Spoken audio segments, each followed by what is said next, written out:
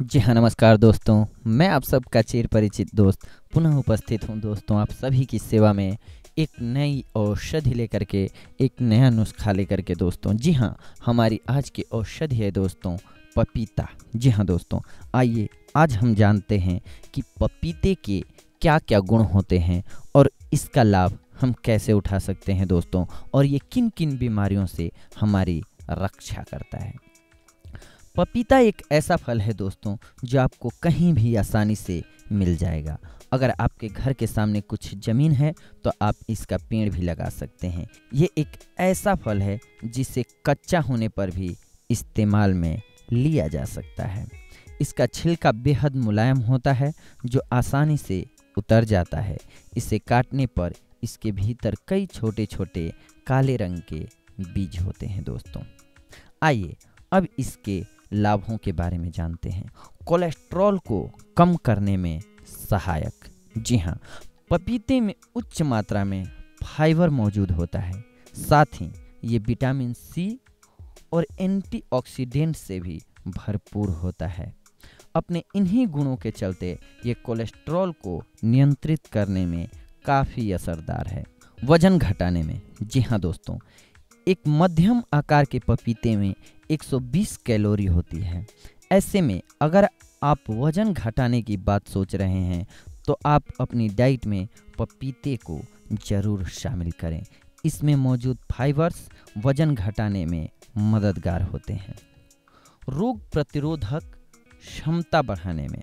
जी हाँ रोग प्रतिरक्षा क्षमता अच्छी हो तो बीमारियाँ दूर रहती हैं।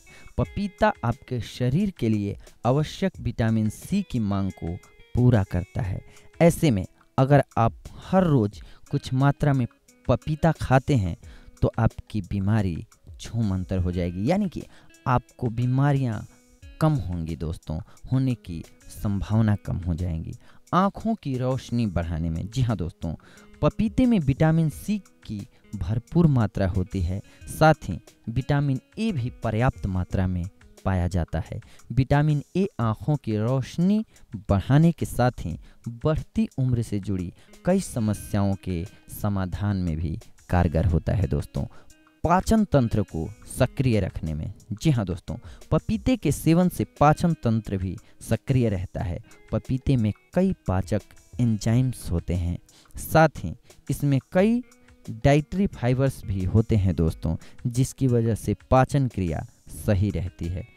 पीरियड्स के दौरान होने वाले दर्द में जिन महिलाओं को पीरियड्स के दौरान दर्द की शिकायत होती है, उन्हें पपीते का सेवन करना चाहिए। पपीते के सेवन से एक और जहाँ पीरियड साइकिल नियमित रहता है, वहीं दर्द भी कम होता है दोस्तों, या यूँ कहें, दर्द में राहत मिलती है। इसके साथ साथ पपीते में हमने आपको बताया एंटीबैक्टीरियल गुण होते हैं दोस्तों कैंसर से बचाता है ये।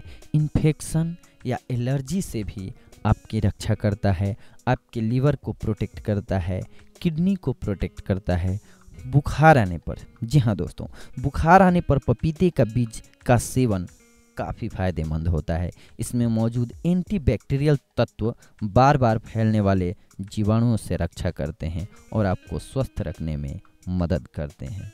तो इस प्रकार से आज की हमारी औषधि रही दोस्तों, पपीता। अगली बार हम आप सभी से मिलेंगे एक और नई औषधि लेकर के, एक और नया नुस्खा लेकर के। तब तक के लिए धन्यवाद।